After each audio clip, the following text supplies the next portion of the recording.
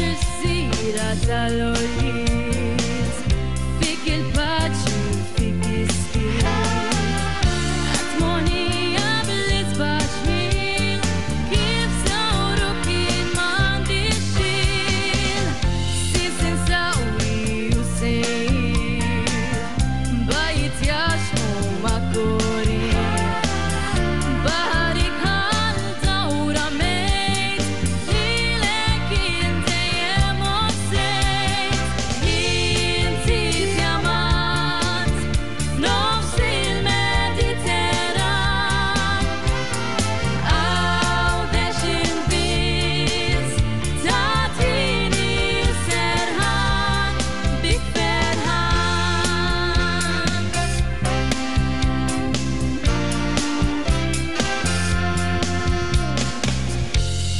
It-tabrani u ta' kuljat Il-ħarra